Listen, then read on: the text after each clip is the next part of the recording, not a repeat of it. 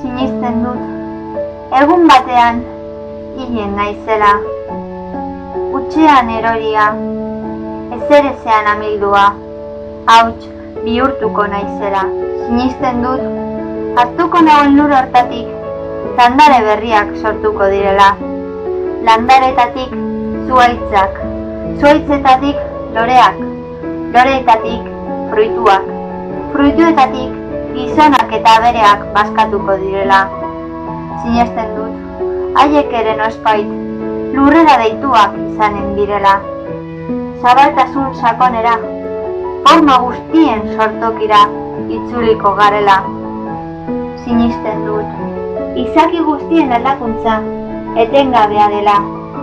Itxura aldatzen sakon batek berpiztuten gaituela.